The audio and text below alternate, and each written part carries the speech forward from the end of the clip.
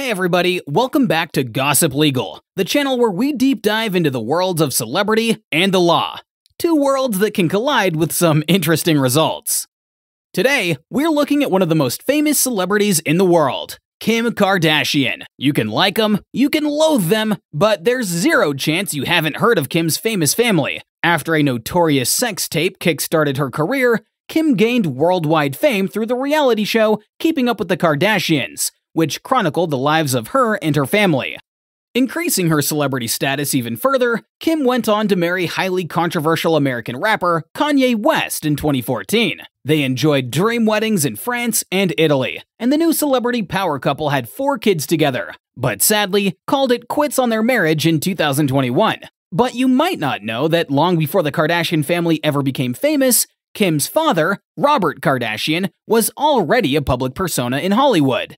Rob was the successful lawyer who rose to fame as the defense attorney of O.J. Simpson during the 1995 murder trial that garnered the attention of the whole world. Rob had actually finished his legal career when O.J. was accused of murdering Nicole Brown, but Rob came out of retirement to help defend a close friend. Things must have been pretty awkward at the time, since Kim's mum, Kris Jenner, had been a close friend of Nicole. Kim said when she was a little girl, she would snoop into her dad's study, full of legal texts and OJ evidence boxes. It must have left a lasting impression on her. It's easy to overlook just what a big deal all of this was. At the time of the OJ murder trial, Kim, Khloe, and Kourtney were in their teens, and their father was representing the most famous murder defendant in the world. Every news outlet was covering the OJ story. It was being screened on every TV in every restaurant and bar, and covered the front pages of newspapers all over the world.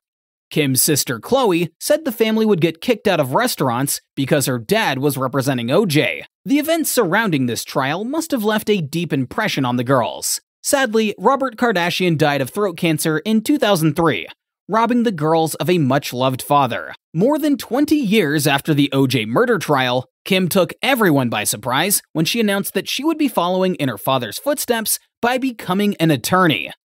Kim expressed a strong interest in the legal system and wanted to be able to help those wrongly caught up in it. The star even went as far as to say that she would be willing to give up fame to make her legal dreams come true.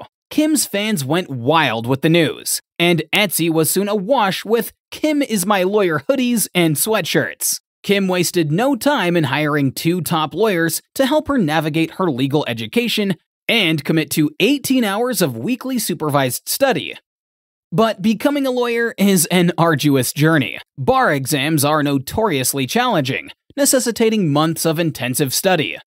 Living in California, Kim signed up for the Cal Bar, one of the hardest exams in the world. Legal exams are famous for being tricky, but the California Bar is in another league entirely. In fact, this exam is thought to be the most difficult of all the state bar exams in the US, so Kim really had her work cut out for her. Each year, the state of California has more court cases than the other 49 states combined. So, the state bar closely monitors the number and quality of those who can obtain California attorney status. The exam is exclusionary, meaning no matter how great your scores are, only the highest 33% of those taking the exam are allowed to receive a pass. So, four years on from Kim's bold announcement, the question is has she actually become a lawyer? Well, the short answer is no. So maybe it's time for some new hoodies. Kim is not your lawyer. She is not a lawyer, period. Four years after first telling the world of her legal dreams, Kim recently poked some fun at her failed legal journey by posting this on Instagram. The quote is a lyric from Jay Z's song 99 Problems ball, but I know a little bit enough that you wanna legally search my. We'll see how smart you are when the K9 comes. I got 99 problems, but a ain't one. We think it was pretty noble of Kim to even think about training as a lawyer, especially as this appears to have been shaped by a desire to follow her father. But the life of a reality star doesn't really afford much time for study. And with a net worth of 1.7 billion, we think Kim should ditch the bar. She can afford the best lawyer out there.